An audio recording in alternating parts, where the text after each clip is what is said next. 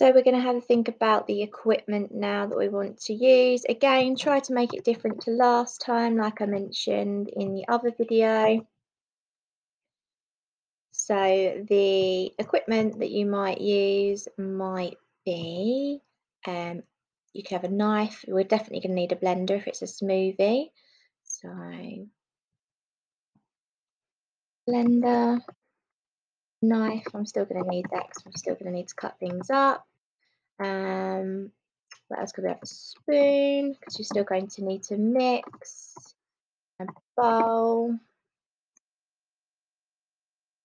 Oh, and I think I'll have a masher this time. not putting capitals here because again, it's not a full sentence.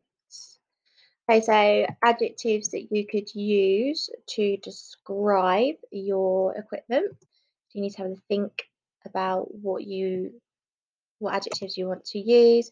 So you could use, I might use rapid for the blender. Means it's really quick. I might use pointy for the knife instead of sharp this time. I'm going to use large bowl still.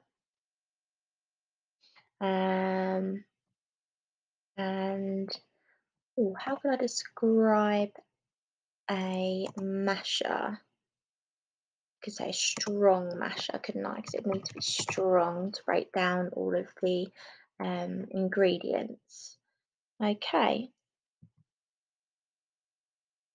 So I'm going to stop there.